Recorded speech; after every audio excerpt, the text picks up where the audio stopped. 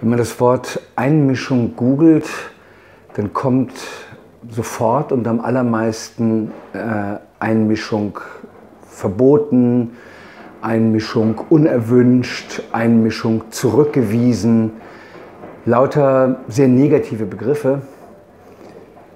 Ich glaube, dass Einmischung ein sehr hohes Gut ist, eine große Qualität hat, großen Mut braucht, nämlich da, wo sie was kostet. Zum Beispiel in der Türkei heute Journalisten und Künstler, die sich einmischen.